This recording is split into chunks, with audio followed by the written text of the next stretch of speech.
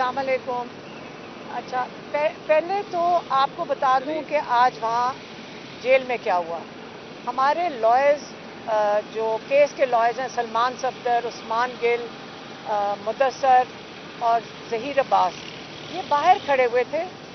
اور جب ہم اندر کورٹ میں تھے، عمران خان بھی ادھر تھے، تو جج صاحب کو پولیس والے بتا رہے تھے کہ جی آپ کے لائرز نہیں آئے۔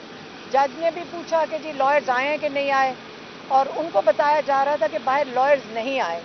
تو جج صاحب وہاں سے اٹھ کے چلے گئے اور نہ عمران خان کو اپنے لائرز مل سکے، کوئی بھی نہیں مل سکا سوائے ہماری فیملی کے۔ اور ایک خالد یوسف آئے تھے اور شاداب جعفری۔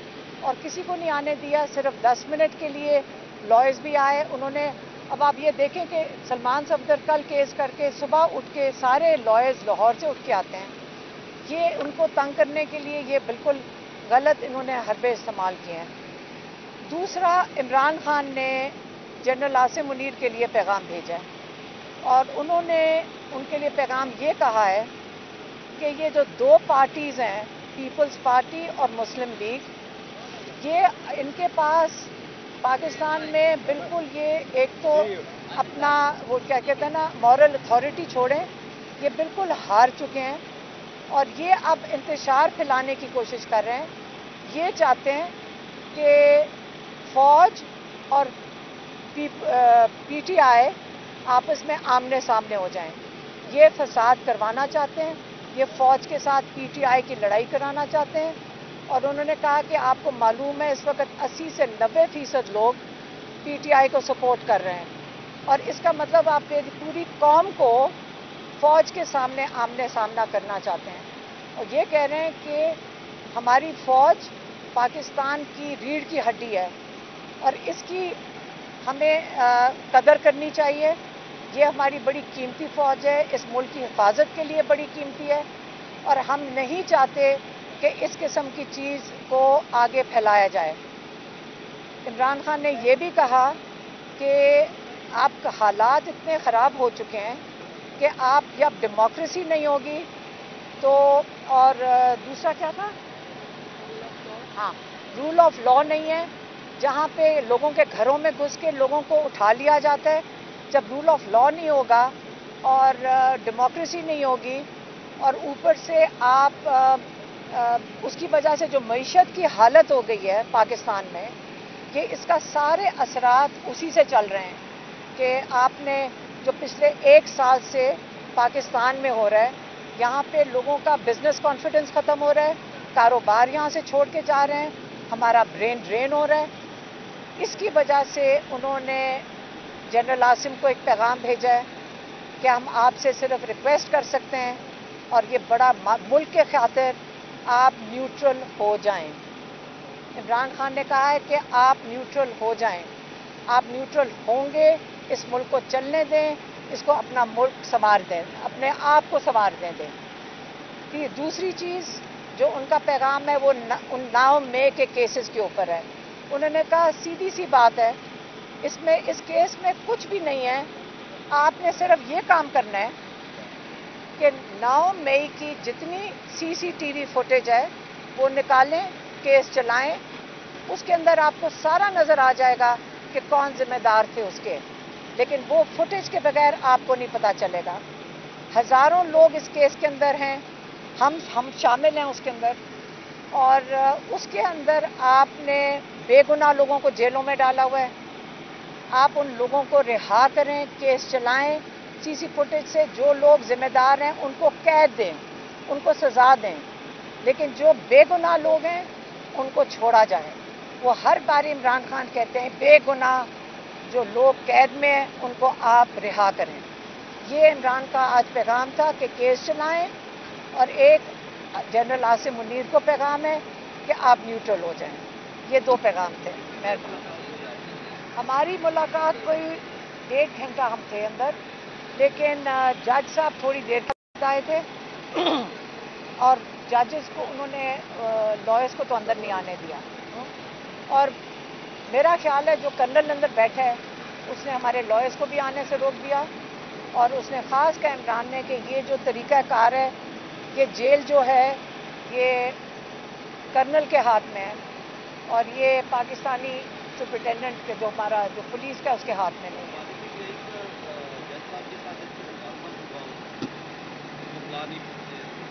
کہا جج صاحب کو کہ ہمارے بکلا آئے ہوئے ہیں، آپ ان کو اندر آنے دیں۔ لیکن پولیس والے وہاں کھڑے ہو کے کہہ رہے تھے کہ آپ کے بکلا نہیں آئے اور وہ باہر کھڑے تھے۔ تو اسی چیز پہ وہاں جب جج کو آپ کہہ دیں گے کہ جی وکلا ہی نہیں آئے تو جج صاحب پھر اٹھ کے چلے گئے۔ ہاں اور میڈیا کو بھی نہیں اندر آنے دیا۔ اور مطلب لگ رہا تھا کہ آج کوئی ان کا ارادہ نہیں ہے کیس چلانے کا۔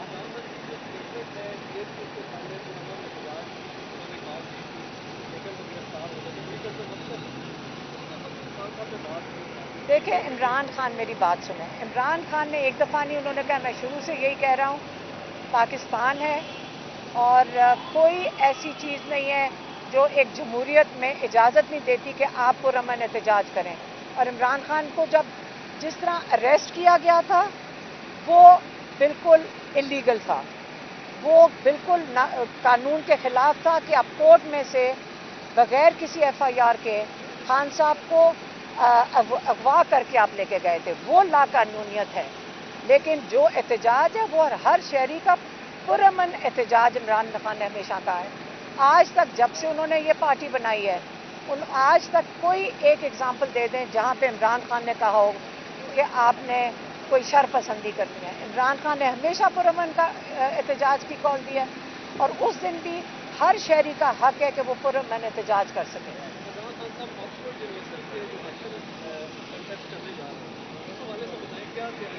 اچھا میں آپ کو بتاتی ہوں۔ عمران خان الیکشن کنٹیسٹ نہیں کرنے چاہ رہے، یہ غلط سٹیٹمنٹ ہے۔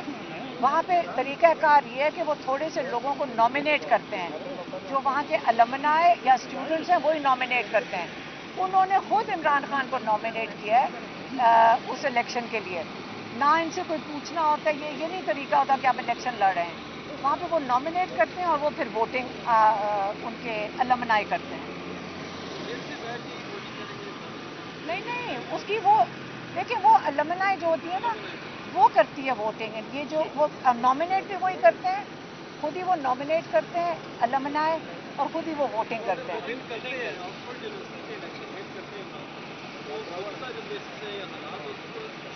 دیکھیں وہاں پہ یونیورسٹی کی آپ بتائیں ذرا لمس کی جا کے آپ پریزیڈنٹ بن جائے اس کا کیسز سے کیا تعلق ہے؟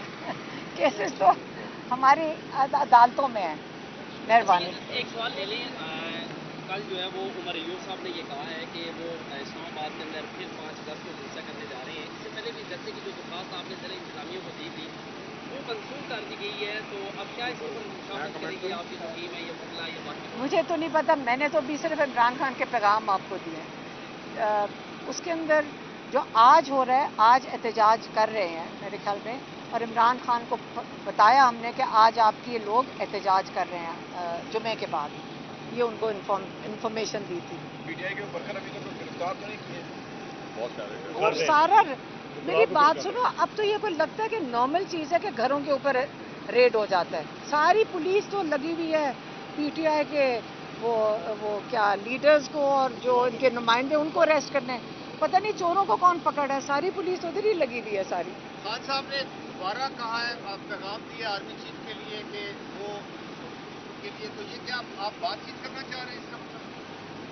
میں پھر سے بتاؤں عمران خان نے کہا ہے کہ جو ملک حالات جا رہے ہیں انہوں نے پیغام بھیجا جنرل باجوا کو کہ آپ نیوٹرل ہو جائیں۔ جی، باجوا اچھا نہیں سوری باجوا نے شروع کیا تھا۔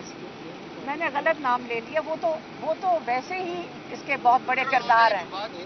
ہاں؟ بات چیت میری بات سنیں وہ عمران خان نے پہلے کہا نیوٹرل ہو جائیں۔ Ye de amına ne? Bas. Şey Bas.